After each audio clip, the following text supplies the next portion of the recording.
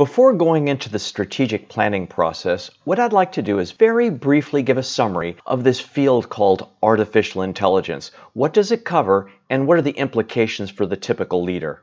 I'll begin our discussion by describing the history of artificial intelligence, and then four branches of artificial intelligence that are quite distinct. The question then becomes, why is everyone so excited about this? And because of the excitement, how do I develop a strategy in this space? Many history books that describe artificial intelligence go back over 2,000 years to describe how humans have constantly been looking for mechanisms that can make life easier, replacing human labor, maybe going back to the earliest pumps like Archimedes' screws. Let me fast forward to the 1770s when the Industrial Revolution took place in the UK. Basically, there were highly skilled weavers. With the Industrial Revolution, these weavers were largely replaced by steam-powered factories that mimicked the detailed intelligence of a weaver. Now there were some protests, but eventually the textile industry boomed and the price of textiles plummeted dramatically. Now let's move forward to 1794 when Eli Whitney created the cotton gin. This contraption mimicked the human behavior of separating the fiber of cotton from the seeds, thus increasing the productivity of the cotton industry, and the cotton industry boomed. Move forward, Henry Ford implementing the production or assembly line. Typically, parts were moved around a factory with human labor. Using automation, factory productivity skyrocketed, the price of automobiles plummeted, and employment in the automobile industry increased. Now let's move forward to the 1940s. That's when ENIAC, the famous computer at the University of Pennsylvania, was invented. All of a sudden, computers could automatically count large numbers and tell people at the end of the day how many people are living in a given area. Now let's fast forward to the 1970s. What may be the single most important breakthrough in artificial intelligence was the electronic pocket calculator. Now, we're probably the only species that knows how to calculate square roots. Perhaps dolphins do, nobody's really sure. But either way, the productivity of office workers skyrocketed. How many of you today look at a pocket calculator and say, wow, that's awesome artificial intelligence? The truth is, no one does. This is called the AI effect. What today people call AI, 20 years from now, they'll just say, oh, it's a stupid little algorithm that helps a car drive. Many people overhype what is considered artificial intelligence today because it gives them access to increased capital investments. So, what is artificial intelligence and machine learning, really?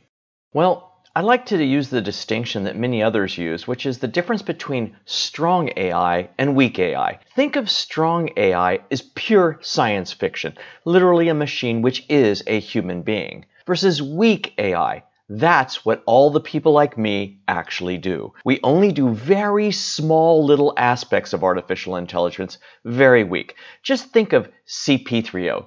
If C3PO was very intelligent, when he actually needed electricity or power, he would actually walk outside, maybe eat some grass, and create electricity. Right now, artificial intelligence hasn't even figured out how the hypothalamus of the brain works. The most primitive part of our brain, we have not been able to come up with an algorithm that imitates even that. So everything that we're working on is should be and is considered extremely weak. That being said, there's two broad areas of artificial intelligence. The first one, most people call good old-fashioned AI. The second part is what some people might consider new stuff, despite it being over 50 years old. Let's go through each branch one at a time. The first one is automation and robotics. Think of that as machines. The second branch is more cognitive or symbolic computing, coming up with expert systems and things like that. Then comes the data scientist. That's computational machine learning. That's what most people talk about in the press today.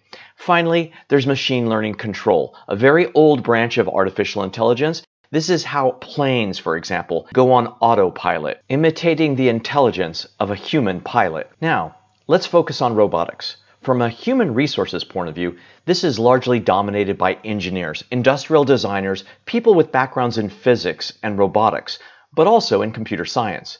What they work on are machines that replace humans in one aspect of life or another, such as automatic teller machines or welding devices, etc. The logic that these people use is largely based on physics, on efficiency, on likability, and they use a number of computer languages. In the second bucket, which is cognitive or symbolic computing, they largely rely not on engineers, but on linguists, geographers, mathematicians, the core fundamental subjects that we learn in college, plus a bit of computer science. This branch was often credited for the earliest expert systems, or chatbots, but more recently with writing poetry and high-end research reports. And people employed in this branch of AI have a number of computer programs that they actually leverage. The next area is extremely important as it actually relies and leverages modern Python and R programs and inexpensive machinery to create some wonderful results.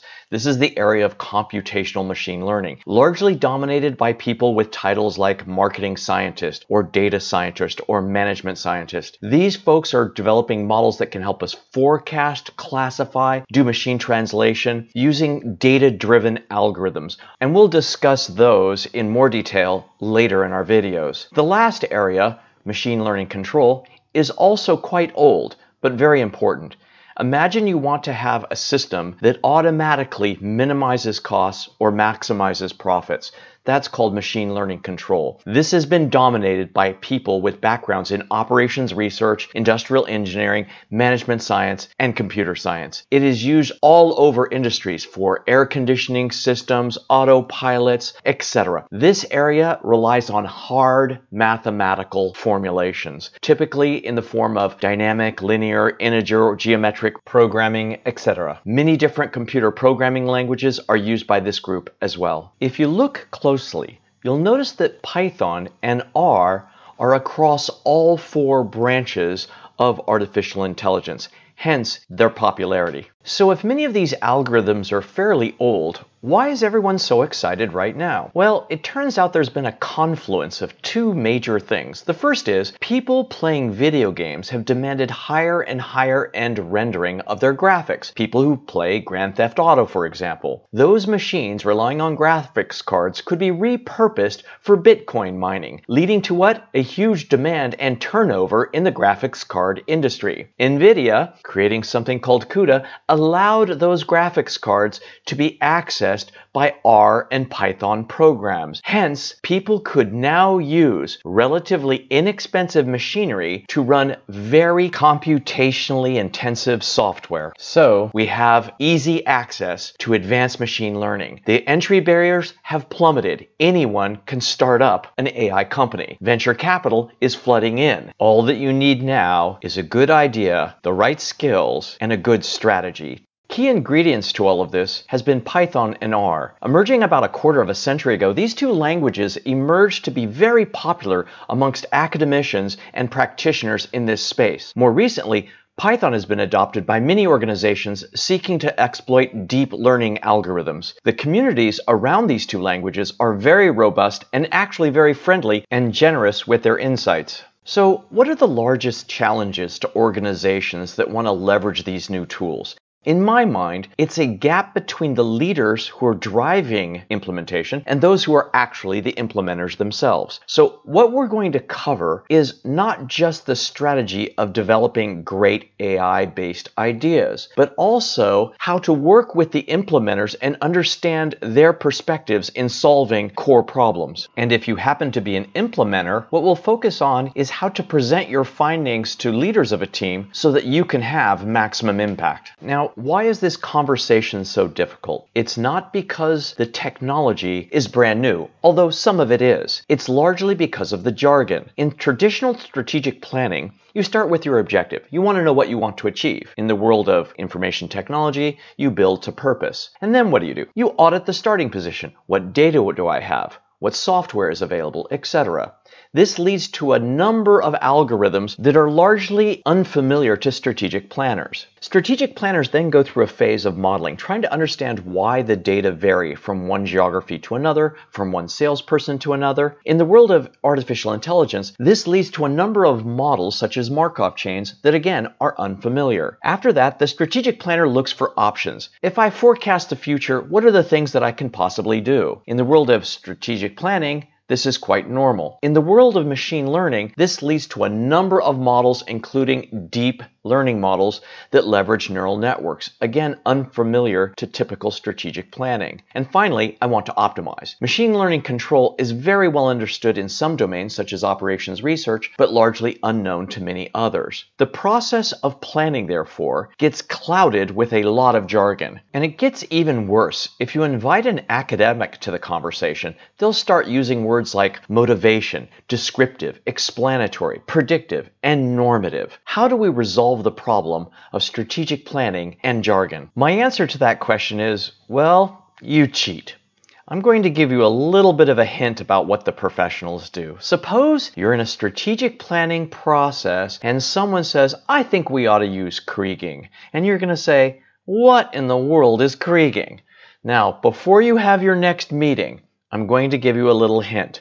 You go back to your office, and what do you do? Step one, you go to YouTube. I'm not kidding. You go to YouTube and you watch the absolute shortest one you can find. And then what do you do? You watch the next shortest one. And you keep repeating that until you get to the MIT and Stanford videos. Okay, step two. You go to GitHub. You simply type in the word Kriging.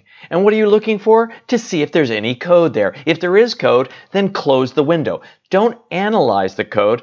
That's for later. Just know if code is there. Step three, you go to Stack Overflow. Go there and just type in the word Kriging and find out if people are talking about what you learned on GitHub. Just see if people are friendly. Are they nice? Are they saying if the code's awesome or not? So what's happened is you've spent from about 9 o'clock in the morning to noon, and you've kind of gotten the basic vocabulary of the tool. You'll realize it's actually not all that complicated. When you get back from lunch, then what should you do? Maybe check out a few researchers. For example, you might go into a database like researchgate.net or arxiv.org and try to understand who's researching this area just to get the names of important people that are out there and some of their latest ideas. And then what do you do? You go to your favorite search engine and you simply type in Kriging and type in applications. Try to find companies that are already using this and get background information. Now you have the jargon that your machine learning people have and machine learning people now kind of understand what that algorithm is and how it can be used to actually increase the performance of an organization. Okay, so we realize that it's not about understanding what a tool is. You'll never have enough time to go back to grad school and learn about every single tool. The good news is, it's easy to pick up. So your only real problem is coming up with a worthwhile objective and then figuring out how to lead and manage a team that will make it happen. You only need to know just enough enough to be able to engage with that team or to report to others within the organization. So, what we propose is a very rigorous and structured strategic planning process. The best practice is to simply start with an objective and then choose the best course of action following a five step process. A bad idea is to read about artificial intelligence and say, wow, chatbots are cool. Let's build a chatbot, and then only realize later that it actually doesn't increase profitability. Or build a data warehouse and then one day ask, I wonder how we can monetize it it. Or hire a vendor to do an AI project for you, only to realize later that given your objective, you probably could have done it yourself and maybe very quickly. Okay, there you have it. Artificial intelligence is a very old field. It's easy to pick up on the methodologies and the algorithms, and it's inexpensive to start up in this space. So what's the real problem? The problem is trying to find an application that actually can solve a problem. In order to do so without spending too much money, we suggest that you become very strategic and systematic about it. And that will be the subject of the next videos.